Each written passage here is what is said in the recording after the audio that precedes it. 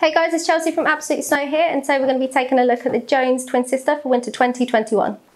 This is Jones's premium all mountain freestyle board. This is designed to take you absolutely anywhere on the mountain. Uh, the shape of this board is a directional twin, so the bindings are set back ever so slightly, which means you've got a slightly bigger nose, but you can still ride this board switch very easily.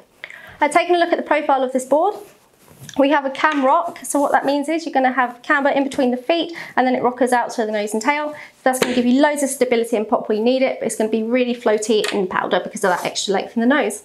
Moving on to the flex of this board, it's about 7 out of 10, so slightly on the stiffer side. So it's going to be nice and aggressive where you need it, but it's not going to be too aggressive, so you can't be nice and playful with those butters on the piste. Underneath the top sheet of this board, we have Jones's FSC certified control core. So this is a fully premium wood core, which is a blend of paulownia and poplar. What that means is it's going to be really light underfoot, super poppy and really durable. So another cool feature of this board, which is going to give you extra edge hold on those icy and hard pack conditions, is Jones's Traction Tech 2.0.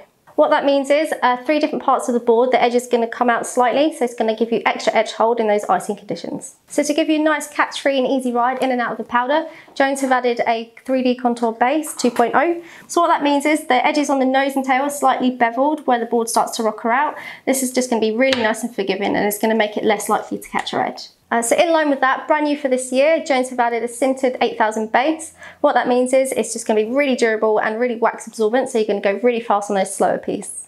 Cool, so if you're a total beginner, I would probably advise you to look at another board just because of the camber in between the bindings. But if you're already linking your turns and things like that, this is definitely one to check out because you do have those forgiving edges that we spoke about earlier. And again, if you're an intermediate to advanced rider, this is definitely one to check out. This is the Jones twin sister for winter 2021.